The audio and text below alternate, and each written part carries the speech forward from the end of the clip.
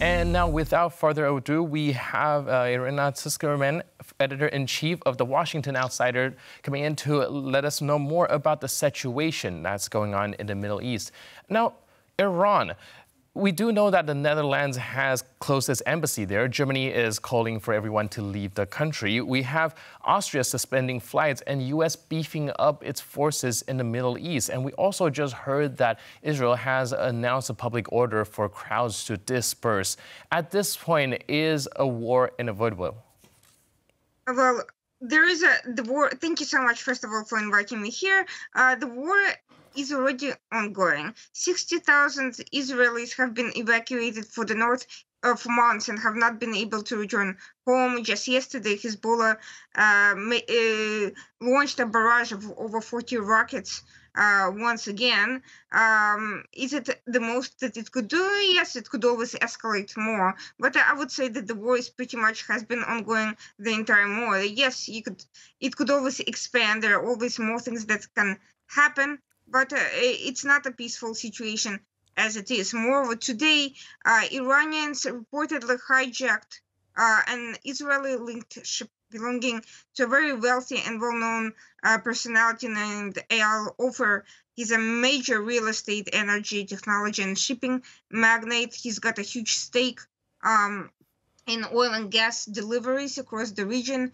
His ship was passing through the Strait of Hormuz when it was hijacked, and many believe that this incident was unprecedented. While Israeli linked ships have been attacked in the past, the, the fact that uh, this ship belonging to this particular very influential personality being hijacked despite US and European defensive operations in the region uh, can lead to a major uh, to a more increased uh, disruption in the shipping, a higher jump in energy costs that has happened already as a result of Houthi attacks, and could lead to a, a great expansion and a more direct confrontation between Israel and Iran. And some believe that this incident was part of the retaliation for the uh, for the liquidation of the IRGC commanders in Syria, and more can uh, can happen in the future.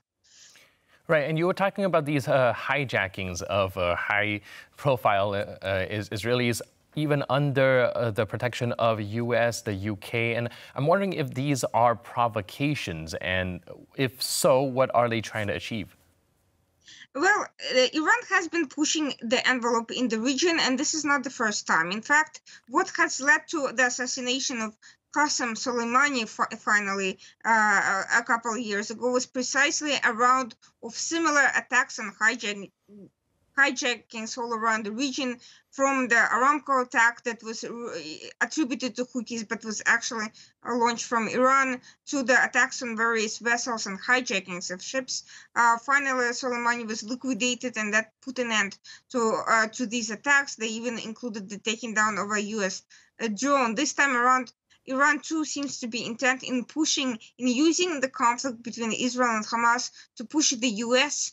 out of the region. In fact, the U.S. strengthened and broadened its presence, but it has not actually gone after the sort of targets that would make a huge difference, which is why uh, the attacks continued. It has not attacked Houthi leadership. It has not uh, attacked any serious military targets in Iran. It certainly has not gone after any RGC commanders. Uh, so it's been a, a, growing back and forth, but Iran ha- is looking to establish a more serious naval uh, presence to uh, kind of control maritime security, block off strategic uh, points, and essentially uh, minimize U.S. Presence and credibility and ability to protect the shipping lanes. All right, and my question also is how likely do you think that this war might spill over to uh, and involve other countries? As we see, multiple nations have been pulling out their personnel or closing their embassies for fear of a strike, especially, of course, the United States have been beefing up their presence in that area. Do you think we might see uh, any sort of conflict, not just between uh, Iran and Israel, but involving any other countries?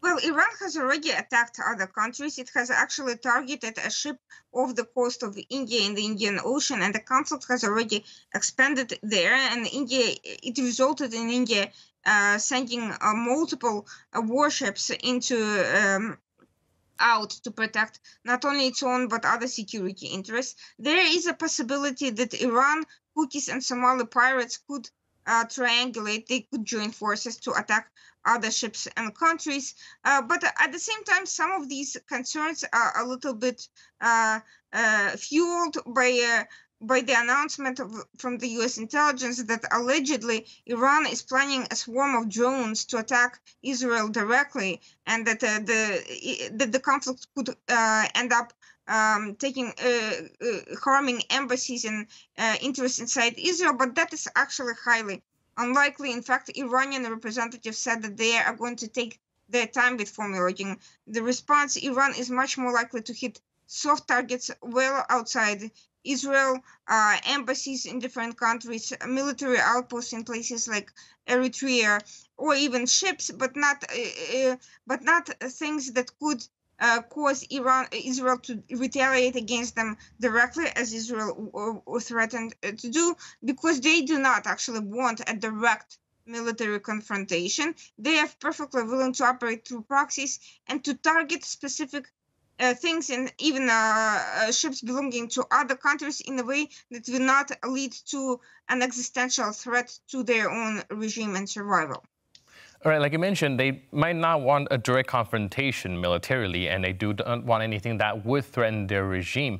And like you mentioned, uh, again, the U.S. intel have been uh, warning these embassies, and they've also been warning their own citizens, saying that there could be possible terror attacks. Do you think the same logic would apply that uh, in order to avoid a direct confrontation, this might be less likely, even though still something, of course, to be wary about? I think Iran uh, is going to do exactly react exactly as it reacted to Qasem Soleimani's death, which is it's it took its time.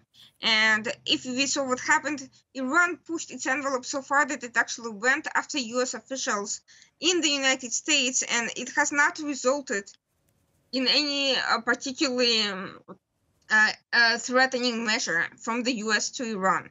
So, as long as Iran feels that the international response is not going to be deadly, as long as whatever they do ends up in just more sanctions that Iran can ignore, or some sort of a, you know, uh, strong statements and uh, very limited measures, they will continue expanding their operations and trying um, and trying to uh, cause problems, which may include significant um, terrorist attacks. Most likely, those terrorist attacks will be, for now, limited to Israeli and Jewish targets in Europe or other parts of the world. Uh, but Iran has succeeded in those things in the past. Because uh, it took um, since 1994 until now for the Argentine uh, courts to finally rule that Iran and Hezbollah were behind the Israeli embassy and AMIA bombings there. So if Iran were to do something like that in some other country, um, now I don't see that it would make uh, a big difference. I don't see a huge military response against Iran directly. As a result, I think there would be a very strong consensus among uh, US, UK, and others to downplay um, and limit the response precisely because um, these countries have been bending over backwards to avoid escalation. In fact, possibly a controlled escalation could in, could in fact deter and uh, limit some of these expanding activities, uh, which is becoming harder and harder to control and prevent. Right, it does sound like it's a very dire situation also in this region. But thank you so much for breaking this down for us. Really appreciate you being here, and thanks again. Appreciate it. Thank you. Appreciate it.